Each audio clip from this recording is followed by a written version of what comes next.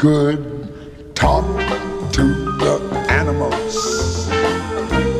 Just imagine it chatting to a chimpin, chimpanzee. Imagine talking to a tiger, chatting to a cheetah. What a neat achievement it would be if we could talk to the animals, learn their languages, maybe take an animal tree. We'd study elephants and eagles, buffalo and beagle, alligator, guinea pig, and flea.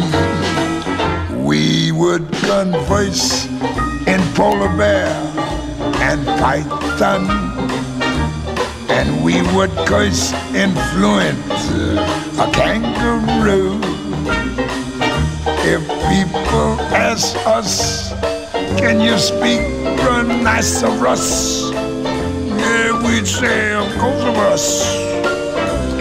Can't you? We confer with our furrier friends, man to animal, think of all the things we could discuss. If we could walk with the animals, talk with the animals, grunt and squeak and squawk with the animals,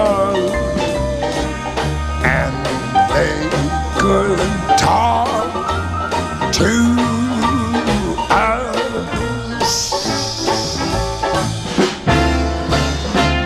If we consulted with one Never happened.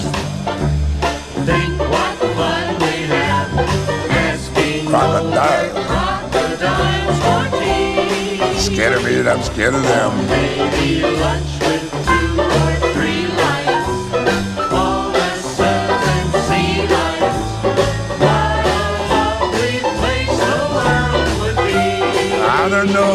If we spoke slang to orangutan, Ooh, orangutan. the advantages any fool on earth can plainly see. Take a fool to see it. Discussing Eastern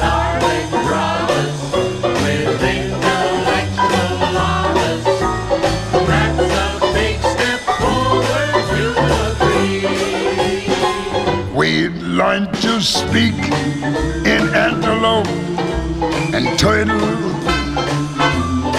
Our Pekingese would be extremely good if we were asked to sing in hippopotamus.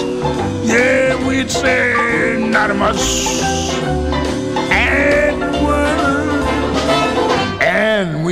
are sure every octopus, place, and platypus certainly would see it as a plus.